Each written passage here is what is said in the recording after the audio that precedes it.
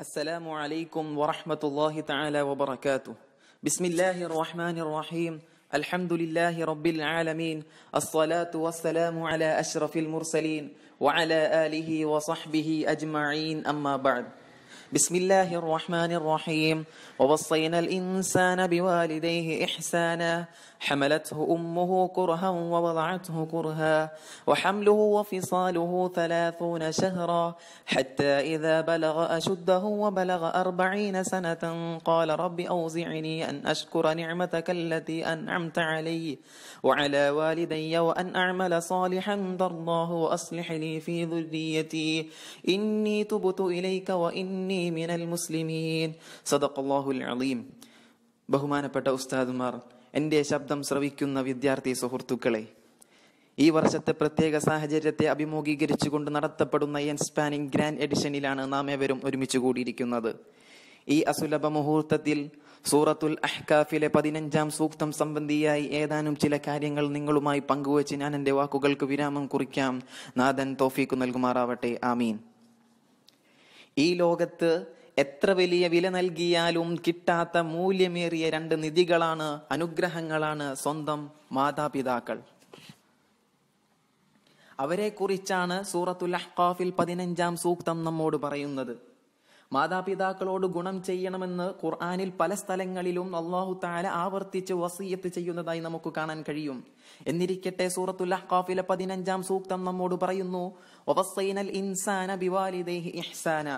തന്റെ മാതാപിതാക്കളോട് നല്ല രൂപത്തിൽ സർവർത്തിക്കാൻ നാം മനുഷ്യരോട് അനുശാസിച്ചിരിക്കുന്നു.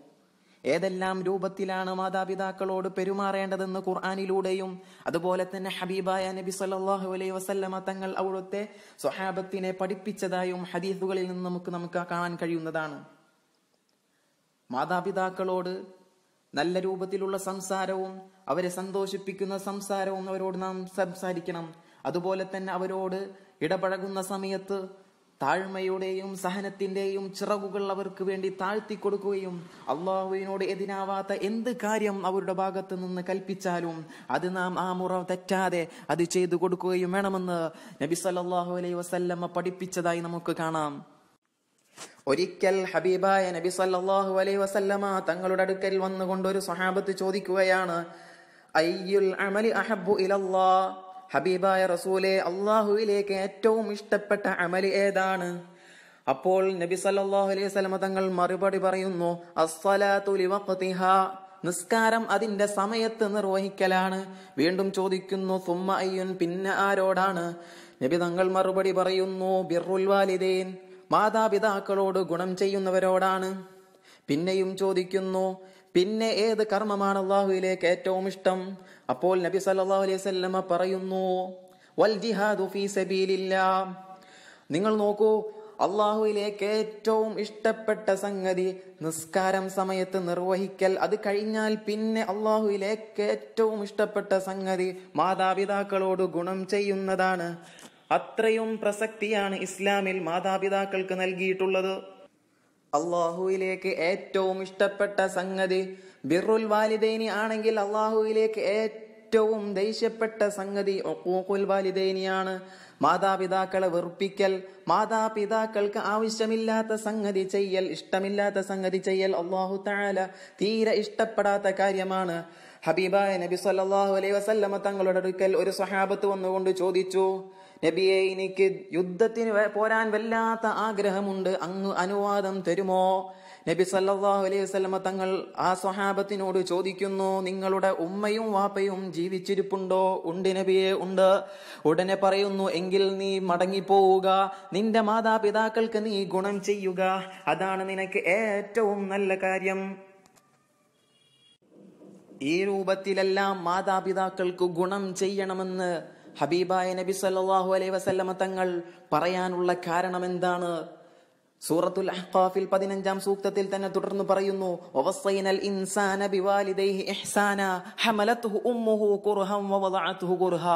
അവർ ധാരാളം പ്രയാസങ്ങൾ സഹിച്ചുകൊണ്ട് നിന്നെ ഗർഭം ചുമക്കുകയും ധാരാളം പ്രയാസങ്ങൾ കൊണ്ട് ധാരാളം പ്രയാസങ്ങൾ സഹിച്ചുകൊണ്ടാണ് നിന്നെ പ്രസവിക്കുകയും ചെയ്തിട്ടുള്ളത്.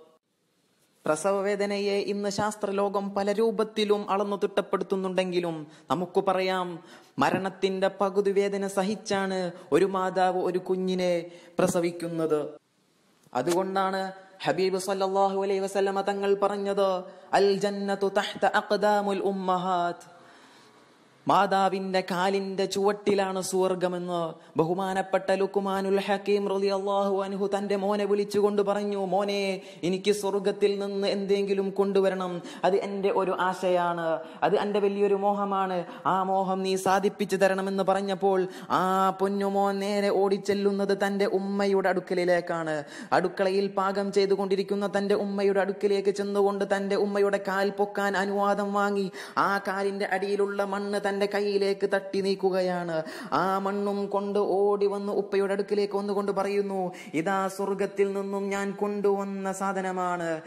അപ്പോൾ ഈ വാപ്പ ചോദിക്കുകയാണ് ഏത് സ്വർഗത്തിൽ നിന്നും കൊണ്ടുവന്നതാണ് മോനെ ഇത്? അപ്പോൾ ആ മോൻ ആ പൊന്നുമോൻ പറ- പറയുന്ന മറുപടി ഇത് ഉമ്മയുടെ കാലിന്റെ ചുവട്ടിലുള്ള സ്വർഗത്തിൽ നിന്നും ഞാൻ കൊണ്ടുവന്ന മണ്ണാണ് വാപ്പ എന്ന്.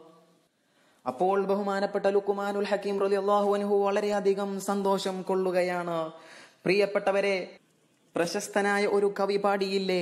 ആയിരം പോറ്റുമ്മ വന്നാലും ഉമ്മതൻ പെറ്റുമ്മയാവില്ല.